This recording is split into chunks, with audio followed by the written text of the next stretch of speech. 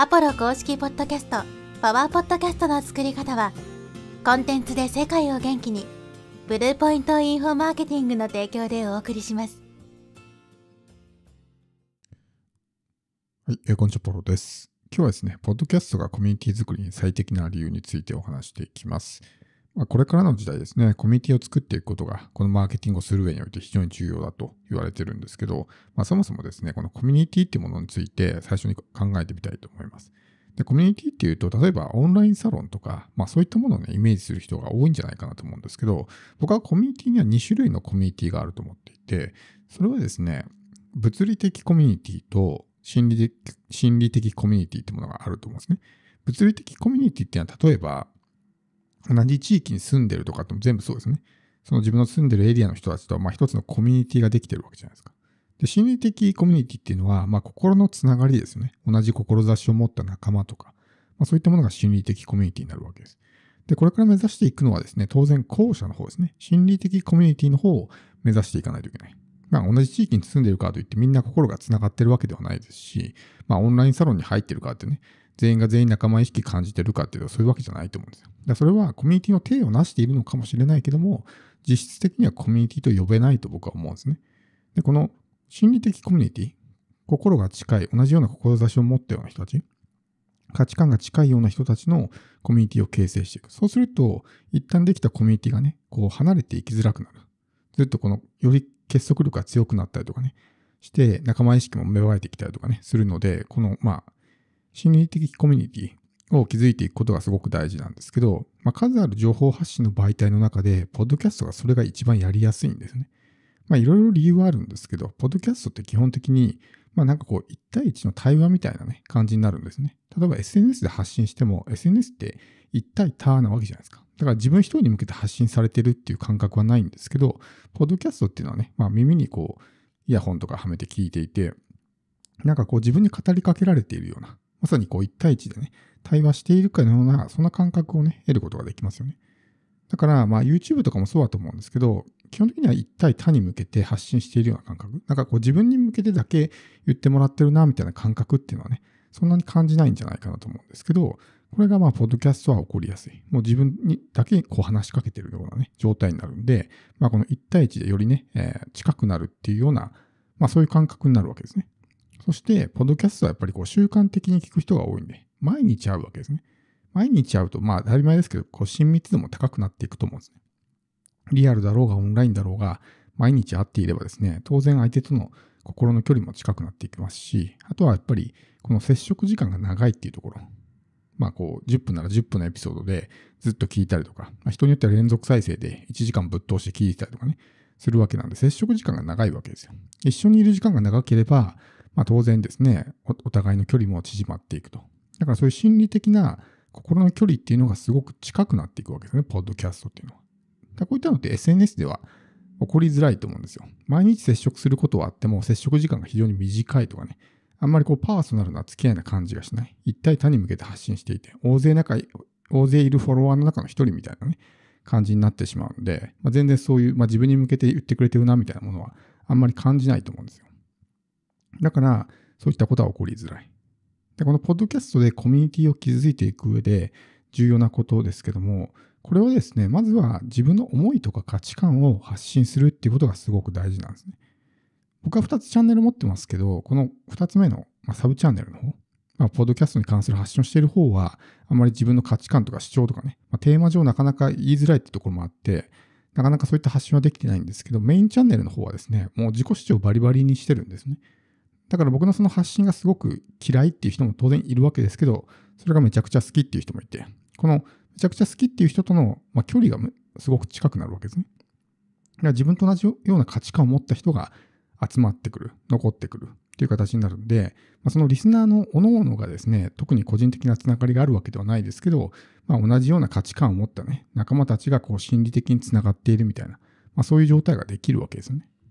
だからやっぱこの価値観とか思いとか自己主張、例えば、ポッドキャストであれば、私はもうポッドキャストが大好きですっていう思いをずっと発信していれば、同じね、ポッドキャストが大好きみたいな人が集まってきて、やっぱり同じものを好きになってね、やるから、お互いやっぱり仲良くなったりとかね、すると思うんですよ。だからそういうような形で、思いとか価値観とかね、自己主張っていうのをどんどん入れていく。だから、まあ、よくありがちなことですけど、情報発信で、ただ情報だけを発信するっていうのは、役に立つかもしれないけど、心の距離ってあんま縮まらないんですね。ただこういうノウハウがありますとか、こういうテクニックがありますっていうのは、まあもちろんね、リスナーはそれで喜んでくれますけど、それだけでは全然この人好きとかってあんまりならないんですよね。そこに自分の個性っていうものをやっぱり反映していかないといけない。この自分がこういうふうに思っているとか、まあ、それはいい悪いかっていうのは、まあ、聞く側がね、判断することですけど、自分はこう思っているってことをしっかりと伝えることによって、ね、その価値観が同じような人が集まってきたりとかね、するわけですよね。だからそういう、まあ、自分の内面にあるものをもっと表現していくっていうのがすごく大事なわけです。そして、この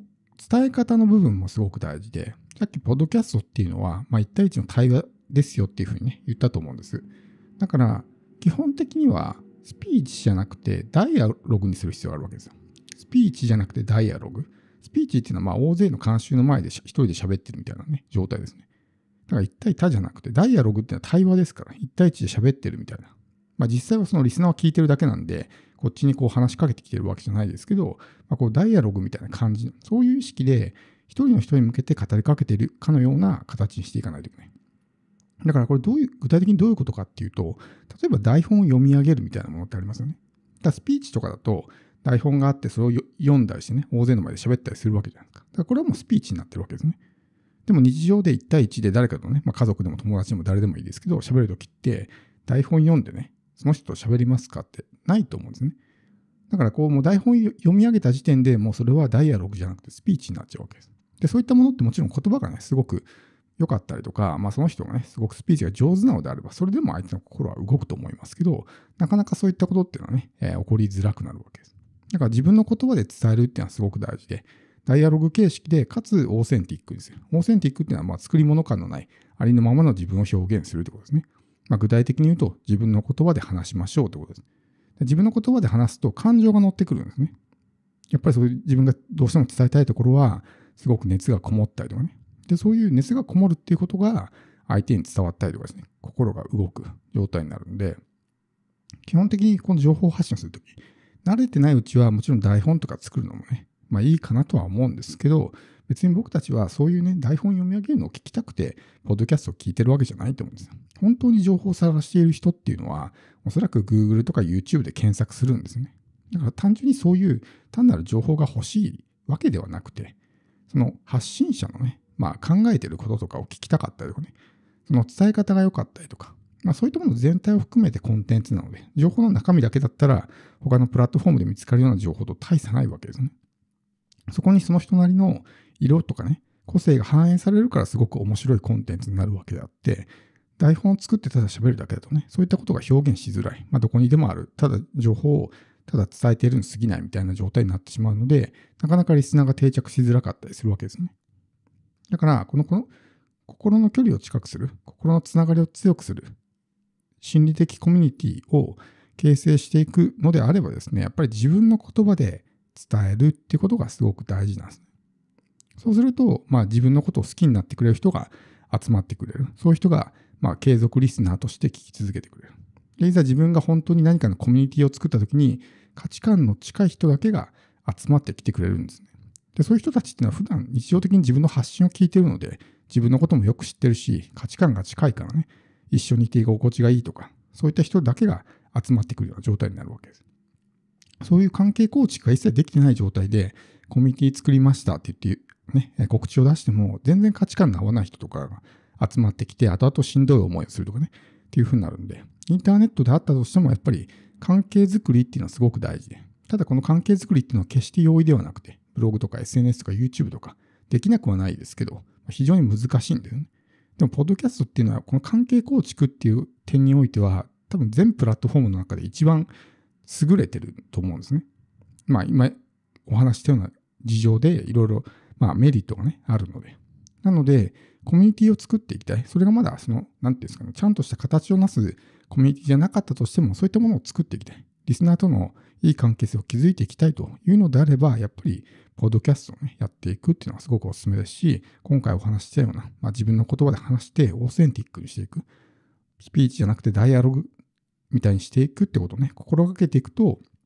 いわゆるその自分のファンみたいな人ができてくるので、まあ、そういった形でね、発信していくと、まあ、コミュニティ、自分だけのコミュニティ、同じ価値観、同じ志を持っている人たちが集まってくる、すごくね、まあ、幸せなコミュニティができると思います。